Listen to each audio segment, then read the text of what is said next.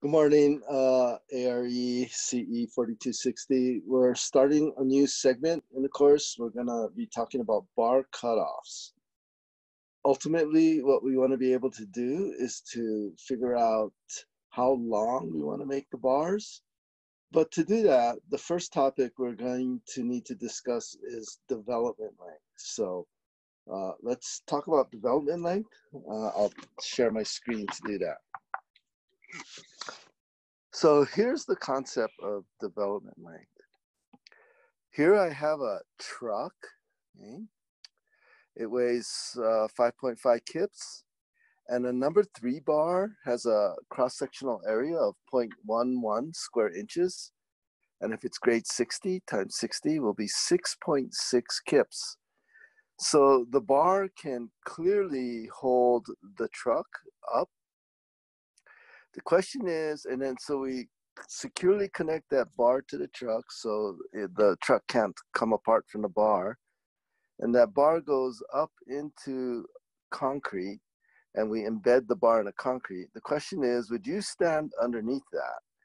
And uh, you shouldn't because this might happen. You might, this thing might slip out of the concrete, right? So uh, again, you don't want this to happen. The the bar holds, but it slips out of the concrete. And so that's the concept of development length. Um, you don't want uh, this to happen. And what you need to do then is embed the bar deep enough so that the truck can't fall out. And eventually, if you put enough weight on the bar, so if we put two trucks on the bar, okay, that would be 1,100 pounds, and the bar can hold only, uh, the bar can hold only, what was it, 6,600? And so the bar will break. But the bar breaks before it slips out of the concrete.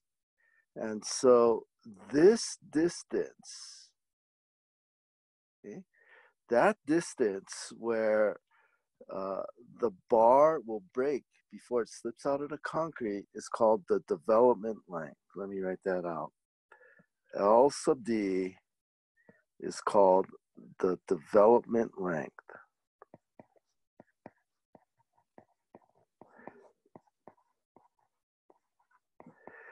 The name comes from this is the length that the, will develop the full strength of the bar.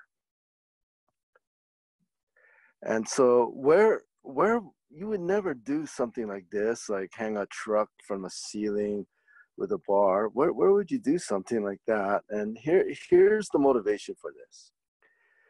When you push down on this cantilever here, right? Uh, you're going to have tension on the top, compression on the bottom, and uh, it, it wants to break off from the column. The beam wants to break off from the column.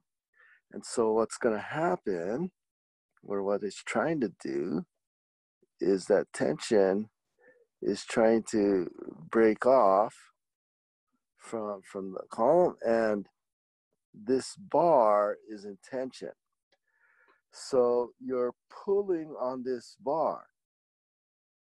And you can pull with quite a significant force on this bar.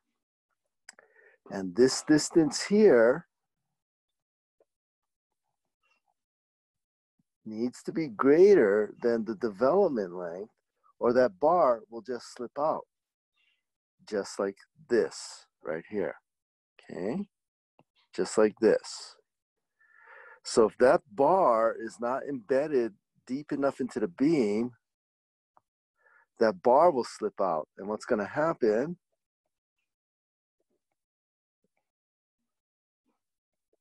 is that the beam will just peel off of the column and the bar won't hold.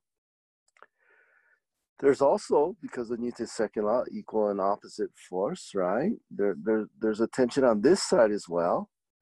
And this will not be, uh, that'll be less than LD. That's not going to be long enough. And to help us hold on to the bar so the bar doesn't come out of the column, what you're gonna do is you're gonna hook that bar over. And even that uh, needs to have a certain length or it will also unwrap and pull out of the column. It'll straighten out and pull out of the column. It's hard to believe, but that can happen. Uh, what, what really might happen is the tail end of this, it might bend up like this as it straightens out, pop the concrete off, and then the whole bar will pull out. Anyway, this is a concept of development length. We need to have enough bar length to hold on to the bar, enough grip so that you would break the bar because you made all your calculations based on this, right? T equals FYAS. So you need enough length so you can develop the full yield strength in the bar before it slips out, the development length. Okay, and uh, that's gonna be the topic we talk about next. And we'll talk about the straight bars first, then we'll talk about the hooks.